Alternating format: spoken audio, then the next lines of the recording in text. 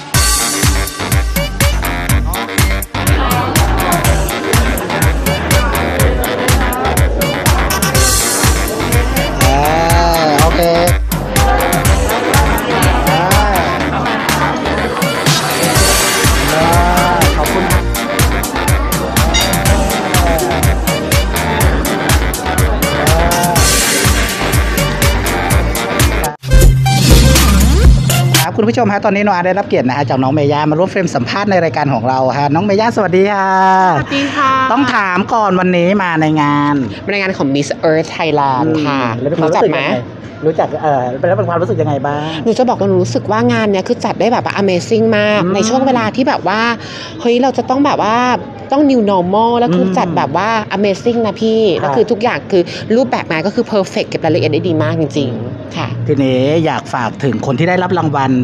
วันนี้นะฮะที่จะเป็นตัวแทนที่จะไปประกวดที่ต่างประเทศตรงนี้ค่ะ ก็สำหรับคนที่ได้รับรางวัลนะคะ ก็อยากว่าอยากจะบอกว่าอันดับแรกก็คือขอแสดงความยินดีด้วย และสิ่งที่สองก็คืออย่าลืมเจตนารมณ์ของ Miss Earth นะคะว่าเราจะช่วยดูแลในเรื่องของสิ่งแวดล้อมของโลกใบนี้อืมอยากจะให้เขาได้แบบว่านำชื่อเสียงที่ตัวเองมีนำตำแหน่งที่ตัวเองมีนะ ส่งต่อสิ่งดีๆให้กับคนอื่นๆอีกอะค่ะได้สำหรับเอ่อรุ่นต่อไปที่มีการมาจะมาประกวดให้ต้องเตรียมตัวอย่างไรบ้างฝากไว้นิดนึง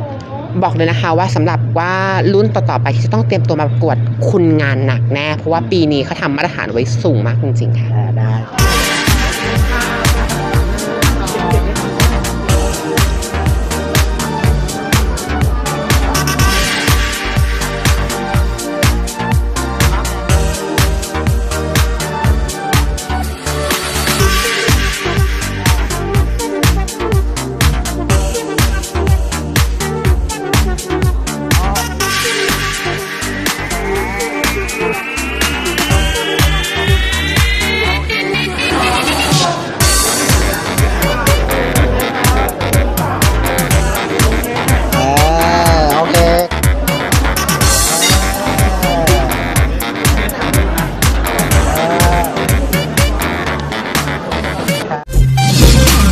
อย่างไรบ้างครับ คุณผู้ชมต้องบอกว่าการประกวดครั้งนี้นะจัดได้ยิ่งใหญ่มากเลย เราฝากรายการ The Sam e t i n e l ไว้กับคุณผู้ชมด้วยครับ